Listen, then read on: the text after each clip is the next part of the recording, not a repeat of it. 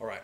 So there's a question about uh, Michael McGoldrick, the fingering for Michael McGoldrick's Ridee, um, and I'm not I haven't played this in a in a while. Uh, I know he plays it on an A whistle, uh, so it probably it may be a little bit more difficult for some people to figure out what the um, what the tuning is.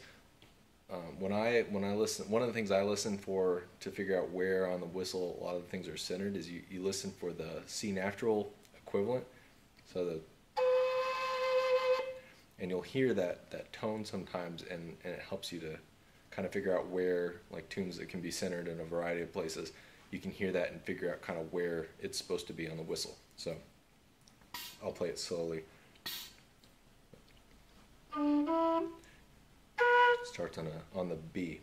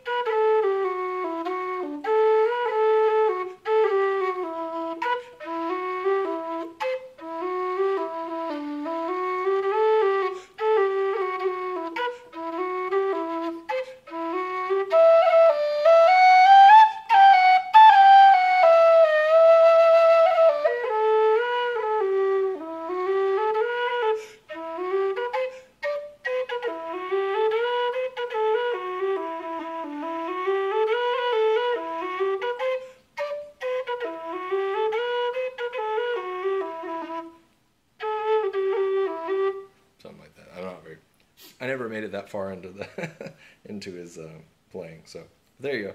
So you can hear that.